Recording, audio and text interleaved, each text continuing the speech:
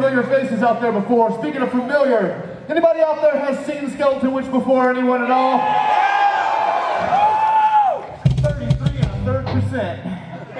I'll take it. This one goes out to you guys. Repulsive Salvation.